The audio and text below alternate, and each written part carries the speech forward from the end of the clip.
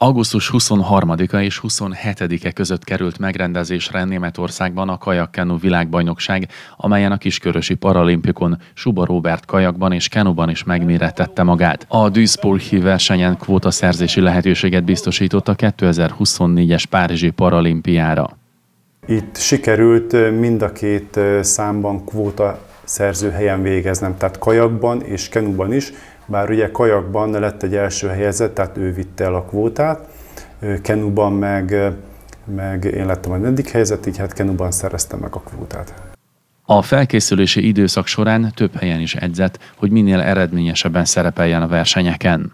Szegeden edzettem, Szegedi klubban vagyok benne, és itt Kiskörösön is edzek, meg Szegeden a Matyéren, vagy a Tiszán, vagy a Marosba.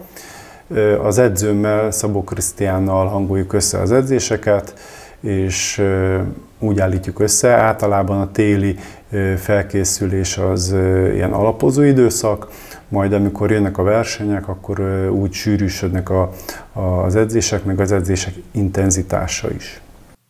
Suba Robert elmondta, hogy elégedett az idő eredményével, hiszen sikerült az előfutamok és a középfutamok, valamint a döntő folyamán is megfelelő időt eveznie. Emellett az időjárási viszonyok is kedvezőek voltak a paralimpikon számára.